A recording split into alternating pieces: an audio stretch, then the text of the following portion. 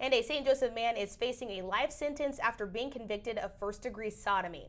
Michael Dan Hawkins, age 42, was found guilty by a Buchanan County jury after about five hours of deliberations on Thursday. He was charged in September of 2022 with having deviant sexual intercourse with a child younger than 12 for an incident that occurred that June.